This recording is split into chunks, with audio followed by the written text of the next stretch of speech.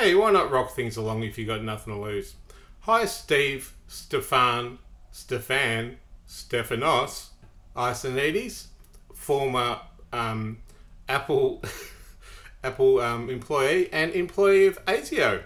Um, while we were together um, from um, Ju- July 2010 to um, uh, 2015 in March, uh, it was a terrible time. You did teach me a lot of stuff, and I do have pity for you because um, you um, are kind of the narcissist type, and I'm the acute empath type, which always goes off with a bang. And um, when we parted ways, we didn't have a um, settlement, did we? I've, I've dedicated a page on my website, killhim.info, um, to you. Um, so I've got a letter from your lawyer saying um, that um, all these lies. But um, anyway, facts are facts. You embezzled $1.2 million in an offshore tax haven, didn't ya? all cars come back and bite you in the ass.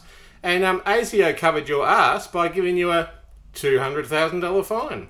And you threatened a hitman on me by the name of Brendan. You met at a um, a, um, a, um, a, a, a psychology group for fucked up people. Because that's right, you're a bit fucked up too. And um, and then further to that, I didn't chase that for ages because I was literally scared because you thieved all my white goods and you stole my car. And it was either an off or on thing that it was, oh, you know, kind of a nasty, throw a few crumbs and like, you know, and twist my head around. And I mean, it, it wouldn't have been possible that you admitted you were present in a murder and you used to fly into Broome um, to, to deal cocaine. Um, and then we went to that Broome place and you told me all about it. Um, no one would make up a story like that, and it didn't happen. So I'm not assuming that it did. And um, you escaped with, I think, um, you always bragged that you were going to um, retire well in retirement. Yeah? Yeah? I think you said you had like a million in super. Do you know what documents I have about that? Do you know um, the USBs you left behind? And, um, you know, all the um, statements you left on the computer um, that were still on the computer, um, but in a different photo library. Um, all of that stuff and the and the illegitimate payments you're receiving, all that kind of stuff. Like in the whole gist of it, I mean, you're a nice guy. You're a nice guy. Hey, you're very charming, but um, you left me short of five hundred thousand dollars. I don't want five hundred thousand dollars.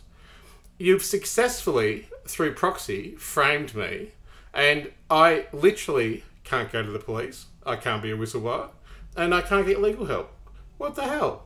It's almost like someone's against me from the secret police. How funny! Because um, it, when I was younger, I used to think the secret police were after me, and now they actually are.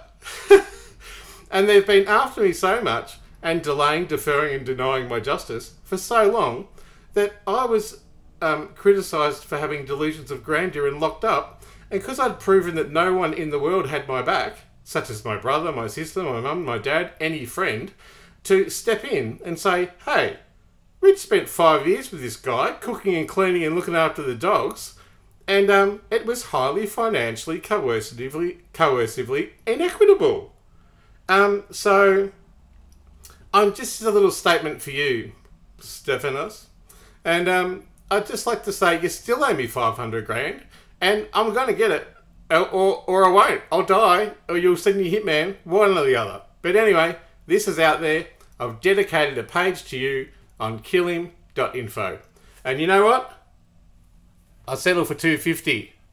Just fang it through to my account, and I'll let you off the hook. Cheers.